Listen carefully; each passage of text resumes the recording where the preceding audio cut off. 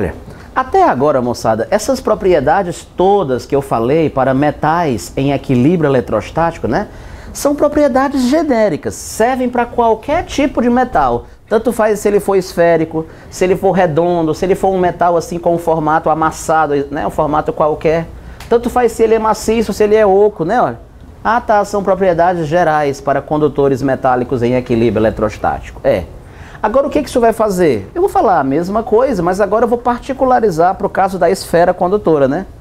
No caso do condutor com formato genérico, não tem muita fórmula para isso não. Mas no caso da esfera condutora, tem fórmula, não tem? Tem. Então vou apagar essa lousa e vamos falar sobre isso daí. Como é que eu calculo o campo elétrico, né? Gerado por uma esfera condutora. E o potencial, né? Produzido por ela, quanto é que vale e tal, né? Aí é, é. Veja, por exemplo, uma situação como essa daqui, ó. Digamos que você tenha um condutor eletrizado positivamente. Você pegou esse condutor eletrizado positivamente, colocou nas proximidades de um condutor neutro, e aí, e aí ele sofreu indução. Ó. Ah, tá. E aí, e aí alguém quer saber, por exemplo, a respeito dos potenciais. O que, que eu posso falar a respeito dos potenciais dos condutores A e B? O que, que eu posso afirmar sobre eles, né? Olha, essa bola é uma bola positiva, né? O que, que tem? Uma esfera positiva produz volts positivos, né? Ao redor dela, dentro dela. Então vamos dizer que essa bola aqui esteja com mais 100 volts. Mais 100 volts da superfície dela até lá dentro, é, é da casca até lá dentro. Tanto faz ela ser maciça como ela ser oca. Mais 100 volts é, é mais 100 volts. Lá dentro o potencial é constante, porque lá dentro o campo elétrico é o quê? Zero. Tá, professor, mas aqui eu tô vendo que tem uma linha de força, ó. É, tem linha de força. Se tem linha de força, quer dizer que daqui para cá o potencial tem que aumentar ou tem que diminuir? Então se ali é 100 volts, ó, então aqui é 90 volts, ó. Ah, então aqui é 80, ó. Ah, então aqui é 40, então aqui é 30. Então, professor, bora dizer que aqui seja 10. Pronto. Se aqui é 10, quer dizer que esse metal, então, todinho, tem que estar tá com quantos? Esse metal todinho tem que estar tá com 10, ó. 10, 10, 10. E Renato, por que, que dentro desse metal o potencial também é constante? Porque dentro dele o campo elétrico é zero.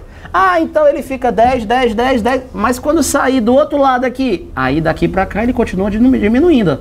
Ah, então aqui ele vai ser o quê? 9 volts, ó. 8 volts, ó. 4 volts, ó.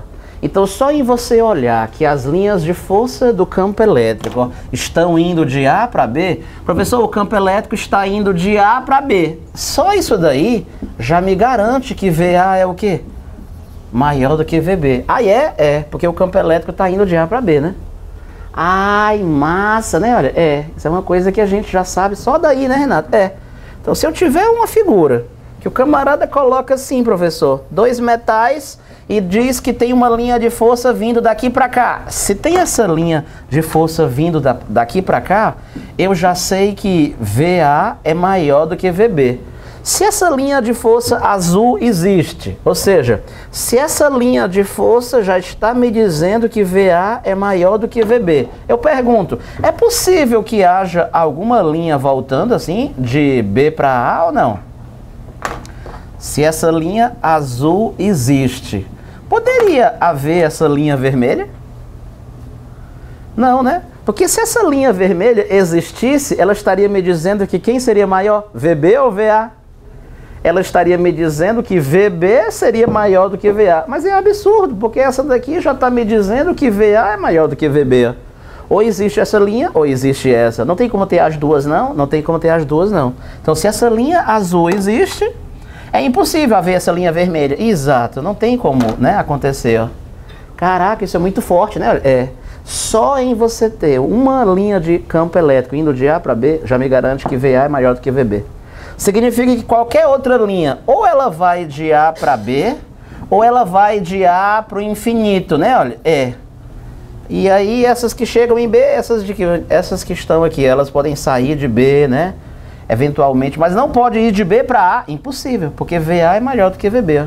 Não tem como nenhuma linha de força ir de B para A por causa disso. Caraca, mano, isso é massa. Pois é, isso que eu queria que você percebesse, né? Como é que é a regra do jogo, entendeu? Façamos o seguinte, vamos falar então agora do, né, das propriedades dos condutores esféricos, né? Como é que eu calculo, né?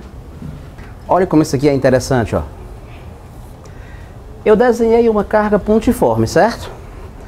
Renato Brito, cara, como é que eu faço para calcular o campo elétrico que essa carga pontiforme produz, ó, a uma distância d dela? Como é que eu faço para calcular o campo elétrico, professor, que ela produz bem aqui, assim? Tá. Esse campo elétrico aí, eu posso fazer KQ sobre D ao quadrado? Claro, carga pontiforme, campo colombiano, professor. É, KQ sobre D ao quadrado. Ah, esse cálculo é em módulo ou não? Sempre me confundo. É, porque campo elétrico é uma grandeza o quê? Vetorial, assim como força, né? Campo é uma grandeza vetorial, o cálculo é feito em módulo, né? Tá. Tá, professor, até aí tudo bem. Isso. Beleza. E tu sabe que o campo elétrico tem a ver com a densidade de linhas, né? Se a densidade de linhas for, né, for bem grande, o campo elétrico é bem forte, né? Se, o, se a densidade de linhas for bem fraquinha, aí o campo elétrico é pequeno, né? Ah, tá. Bom, aí, vamos fazer uma pequena mudança nessa figura. Continua olhando para tu ver o que eu vou fazer, ó. O que é que você vai fazer? Eu vou colocar aqui ó, uma esfera condutora exatamente nessa posição. Ó. Ah, tá. Tu percebe que o desenho das linhas fora dessa esfera condutora não mudou? Mesmo, o desenho das linhas é exatamente o mesmo de antes. O desenho das linhas lá fora não mudou. Quer dizer que o campo elétrico lá fora ficou mais concentrado ou ele ficou mais diluído quando o senhor desenhou esse metal aqui? Cara, ficou do mesmo jeito. Ah, é, é. Portanto, professor, isso sugere que essa expressão aqui não deveria mudar, né? Que essa expressão não deveria mudar. Faça o seguinte, ó. Essa carga mais que, o que, é que o Renato Brito vai fazer? Vou tirar ela daqui. Eu vou dizer que essa carga mais que, ó, na verdade, professor, ela está distribuída na superfície desse metal. Ó. Aí é, ó, se essa carga tivesse distribuída na superfície do metal, em vez de ser uma carga pontiforme lá dentro, se ela tivesse distribuída, pessoal, o campo elétrico lá fora continua sendo calculado como eu calculei agora há pouco. Ah, tá. Como se o quê? Como se essa carga tivesse concentrada lá no centro. Até porque o desenho das linhas de força lá fora fica exatamente o mesmo desenho. Professor, mas dentro do metal o senhor falou que não vai ter campo, né? Pois é. Então eu só preciso ter o trabalho de apagar essa parte que estava dentro. Ah, mas se eu prolongasse assim, todas elas continuam passando pelo centro, mas na verdade não tem campo lá dentro. Por isso que sou obrigado a apagar as linhas, né? Ó. O senhor está desenhando só as almas dela, é só a alma dela para você ver que ela continuaria passando pelo centro. Mas lá dentro, Renato, o que eu sei é que não tem campo. Não tem, ó. Por isso que eu fui obrigado a apagar as linhas de força lá dentro, entendeu? Ah, tá. Então, Renato, se eu quiser calcular o campo elétrico fora da bola, aí eu calculo como se a carga pontiforme tivesse concentrada lá no centro, a moda antiga. Como se fosse essa carga pontiforme ali. É, até porque o desenho lá fora não mudou. Tu percebe que só mudou o desenho lá dentro, só lá dentro que o Renato teve que mudar o desenho. Então eu vou escrever assim, ó o campo elétrico fora da bola. Se eu tiver fora da bola, eu vou calcular assim. Ou seja, essa distância D tem que ser maior do que o raio, é? Essa distância D tem que ser maior do que o raio. Se eu tiver fora dela, o cálculo é feito como se toda a carga fosse pontiforme e estivesse concentrada no centro. Professor, mas se eu estiver dentro da bola? Ah, dentro da bola é muito mais fácil. Porque esse condutor não está em equilíbrio eletrostático, não está? Pessoal, quanto é que é o campo elétrico dentro de um condutor em equilíbrio eletrostático? Zero. Dentro não tem campo. E fora é o que? Eu calculo como se a carga tivesse concentrada lá no centro.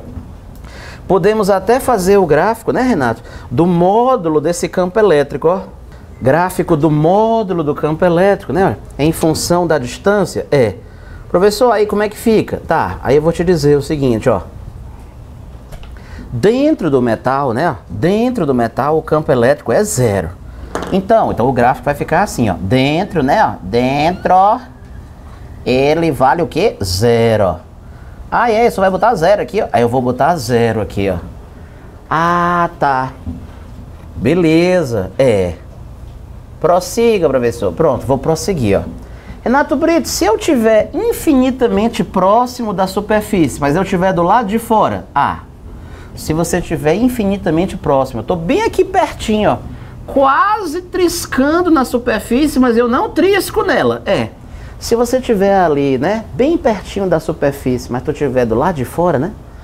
O campo elétrico, né, seria do lado de fora. Então eu teria que fazer essa conta, né, ó. Ah, é, yeah, o campo elétrico bem próximo, né?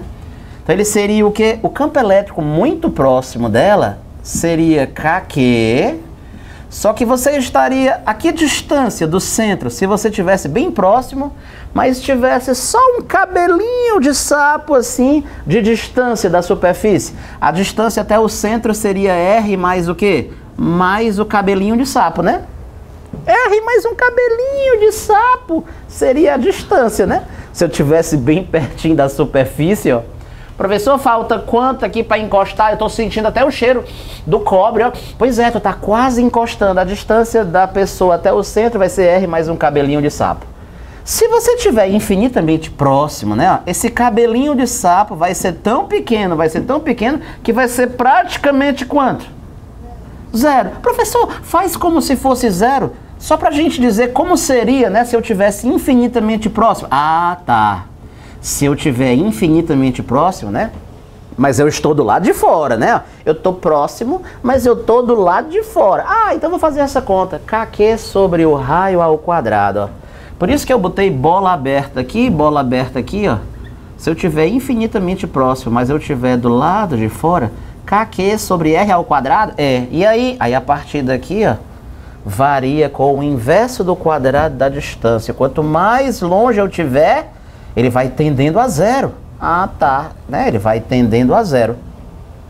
Aí, pessoal, né, existe uma lenda que diz que o campo na superfície da esfera condutora seria a metade do campo próximo. Tipo, o campo próximo é isso e o campo na superfície seria a metade. É, há quem diga isso, né? Mas isso tem caído em desuso. É, olha, é. Os livros mais sofisticados né, de eletrostática não trazem mais essa informação de que o campo na superfície é a metade do campo próximo. Ah, eu já ouvi dizer. Pois é, mas não se fala mais isso, entende? É, professor, ficou assim meio, caiu em desuso, né? E não se fala mais isso não. Você diz que há uma descontinuidade. Dentro é zero, fora ele passa para aquele valor, né? Olha, é. E essa transição acontece, né? Na espessura ali de algumas camadas atômicas, né? É descontínuo mesmo, é uma variação brusca. Ninguém fala mais isso, não. Não, isso aqui caiu em desuso, ninguém nem pergunta. Nem se fosse na prova do ITA, NASA, não, ninguém fala mais isso, não. Você pode pegar livros aí, né? Griffiths, né? Heights Milford, né? Diabo é isso, professor? Eletrodinâmica do Jackson, sei nem quem é, o Jackson do Pandeiro? Isso, né? E nem trata sobre isso. Isso tem em alguns livros, mas de segundo grau, mas está caindo em desuso. Ninguém usa mais isso não. É. Bom, beleza. Então eu já sei calcular o campo dentro, porque dentro é zero. E se eu quiser calcular fora, o Renato me disse que é só eu fazer o cálculo como se a carga fosse concentrada aqui no centro e eu uso a distância do centro até o ponto. Como eu fazia a moda antiga? Pois é. Ah, tá. Isso.